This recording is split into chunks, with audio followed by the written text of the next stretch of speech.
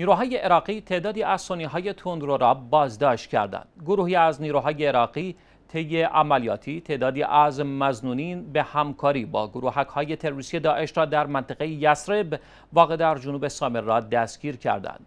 این نیروها با انتشار بیانیه اعلام کرد یک گروه مشترک متشکل از نیروهای مردمی پلیس یسرب و امنیت ملی عملیات جستجو در منطقه یسرب واقع در جنوب سامرا را آغاز و تعدادی از مزنونین گروهک های تروریستی داعش را دستگیر کردند. در این بیانیه گزارش شده یکی از آنها اعتراف کرده که به سازمان تروریستی داعش تعلق دارد و چندین عملیات تروریستی علیه نیروهای مسلح این کشور انجام داده است.